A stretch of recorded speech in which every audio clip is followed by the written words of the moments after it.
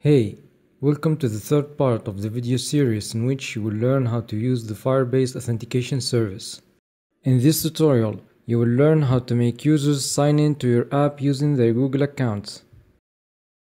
First of all, make sure the necessary links to the configuration and the Firebase service are present in your HTML file.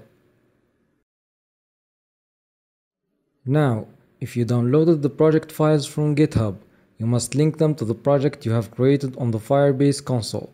To do that, use the Firebase use command.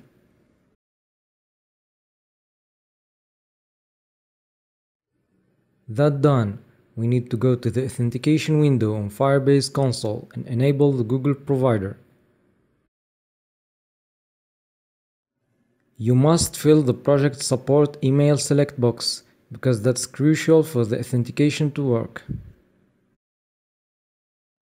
Now, let's head back to the code editor and add the click event to the sign in with Google button.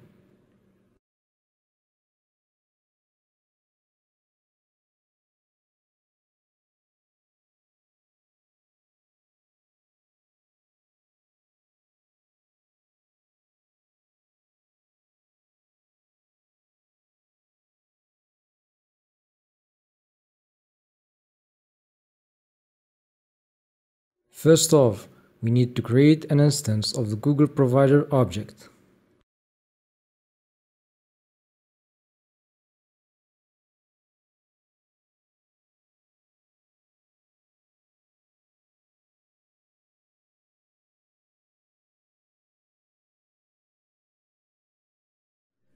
Then we need to use the sign in with pop-up function, which will have the provider that we just created as parameter.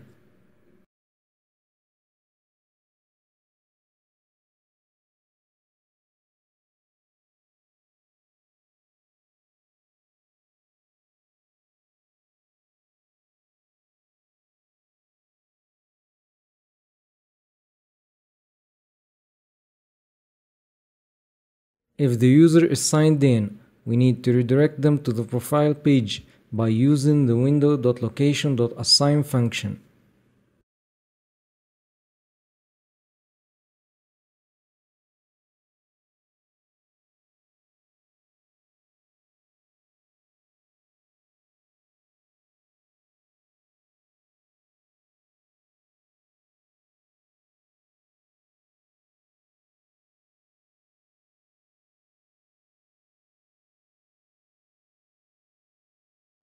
Let's make a test in our local server using the Firebase serve command.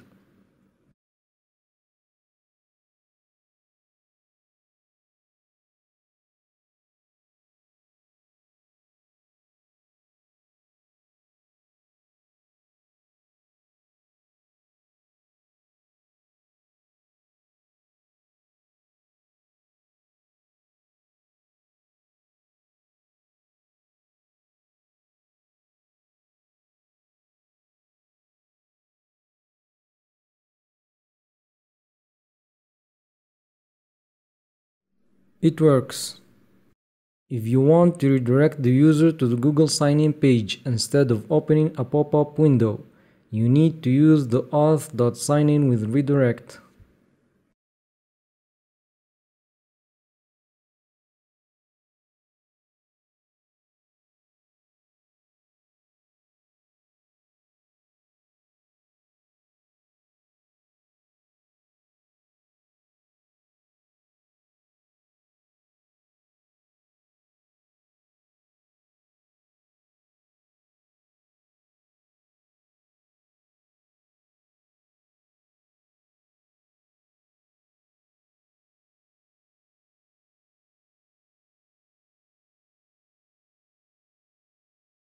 This is it for this video. You can check the description for the project files. And don't forget to subscribe and hit the bell notification. And see you in the next part.